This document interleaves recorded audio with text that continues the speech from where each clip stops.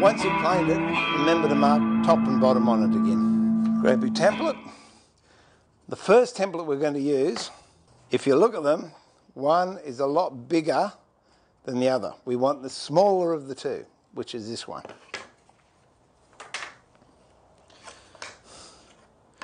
Now find the centre of your piece of timber, set a marking gauge up to that mark, and as we did in the last video, scribe a line, turn the timber around, scribe another line, and if it's the dead centre, those lines should meet. And then scribe down, not heavily, just a light mark down there. Pick up your template. This has got the centre line marked on the template. Line it up so the centre line's pointing up, and that's going to be the front because it's the narrowest one, and that's the back. So line your front up with your front, and your back up with your back, and align this centre line with that centre line. Once you're happy with that process, grab some double-sided tape, double-sided tape on the back, that goes down on the front. Take the backing tape off. The other thing you can do, if you don't want to use double-sided tape, is put some brads in or very shallow staples. But whatever you do, make sure you line it up, back to back, front to front, and make sure these centre lines line up. Once you're happy with that, pop it in the vise.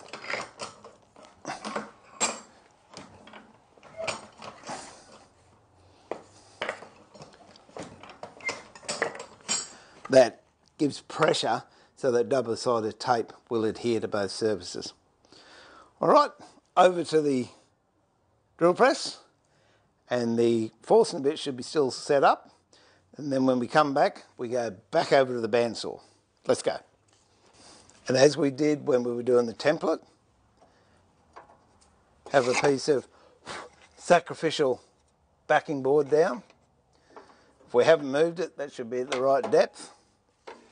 And this then will guide the force forcing a bit where we want it to go. Place it in there, hold that firmly, turn it on, and cut all the way through in one go.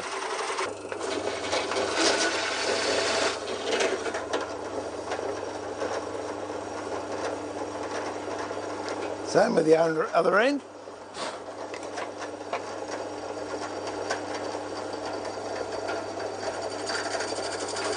Take it slowly.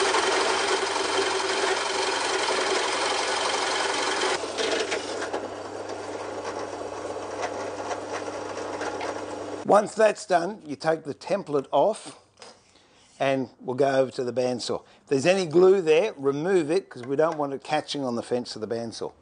And the bandsaw, hopefully if no one's touched it, is going to be set at exactly the same width that we cut this one at. If there's someone else in the shop, double check to make sure they haven't moved it. And then with the top, with the top to the fence, Slice another lot. Be careful when it comes to these holes because the bandsaw will jump.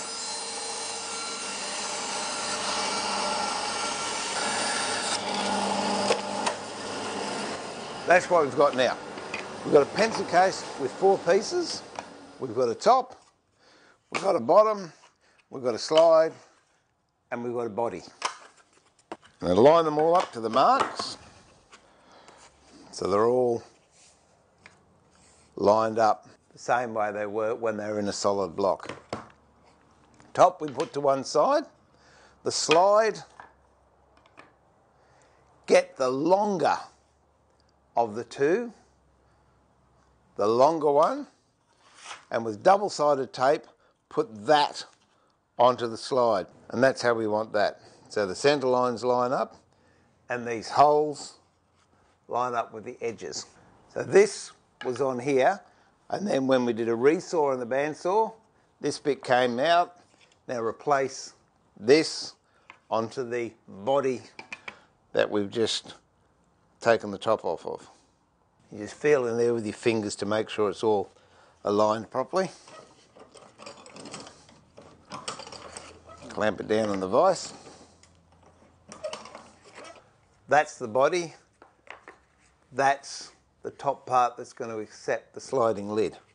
Now with this one, I'm going back to the drill press and with a Forstner bit, I'm drilling out this extended hole here. So we've got these two holes we drilled originally. Now I'm extending that back to here.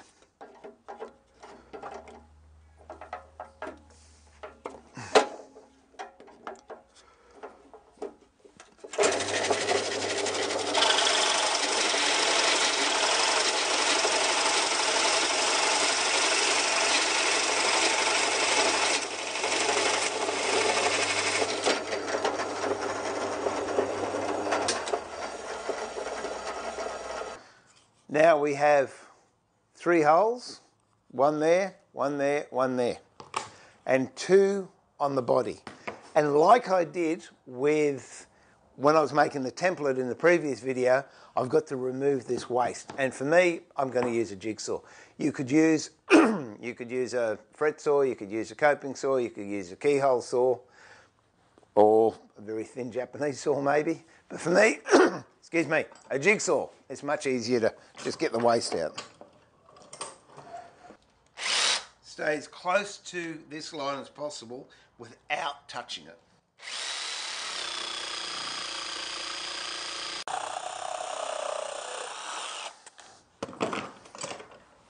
That's removed most of the waste. Now it's back to the router with that profile cutter and we're going to run the bearing on the template and clean up the inside here.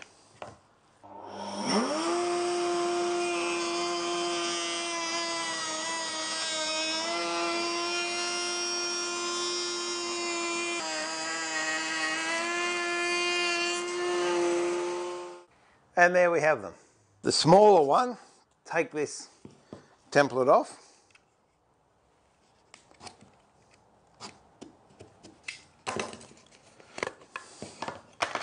remove any of the glue that's on there. And take the time to clean any glue off the template because if you leave it on there, it's going to be disastrous when you want to go and use it next time. At this stage, if you like, you can lightly, a bit of 180 or something or other, just sand on the inside if it's not a really nice finish. If it's a good finish, just leave it.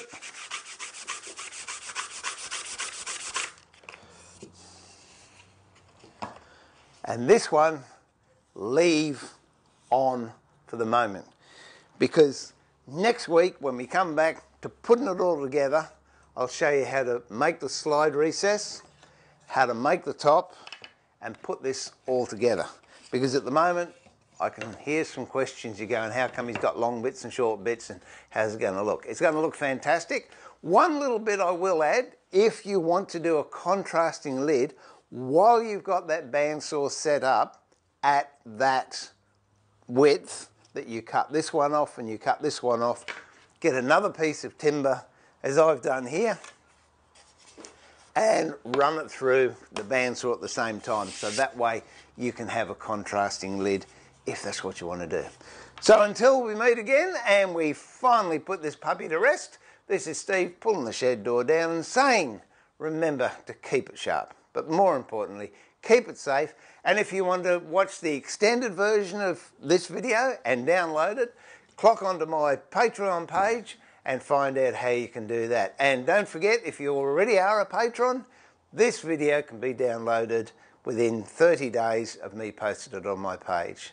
So until I have your company in the shed very, very soon, look after yourselves and enjoy your woodwork. Bye for now.